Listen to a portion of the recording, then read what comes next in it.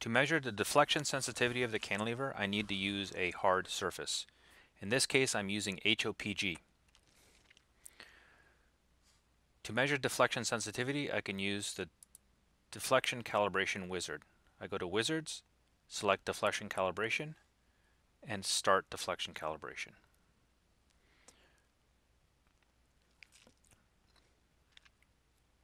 This is an automatic process in which the system, using the default parameters, we'll take five force curves, and then we'll measure the slope of the uh, force in the in contact region of each force curve.